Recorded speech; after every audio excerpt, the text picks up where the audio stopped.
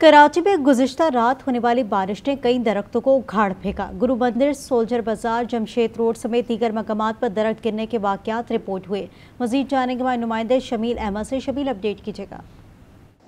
जी कराची में गुजशत रात से जो बारिश का सिलसिला शुरू हुआ है, इसके बारे में पहले महकमा मौसमियात का कहना था कि तेज़ हवाओं के साथ, गरज चमक के साथ ये बारिश होगी।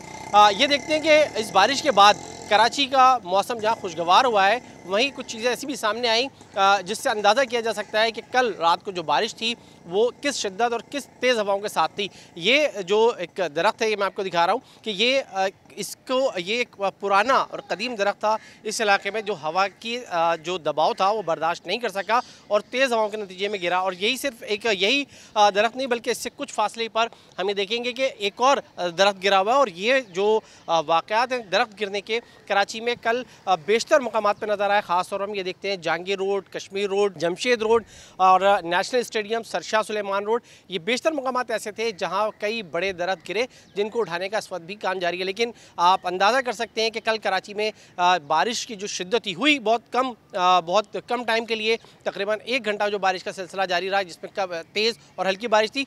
लेकिन उससे अंदाज़ा कर सकते हैं कि कितनी तेज़ हवाओं के साथ वो बारिश थी कि जिसने इतने कदीम और मज़बूत दरख्त तक उखाड़ कर फेंक दी है। जी।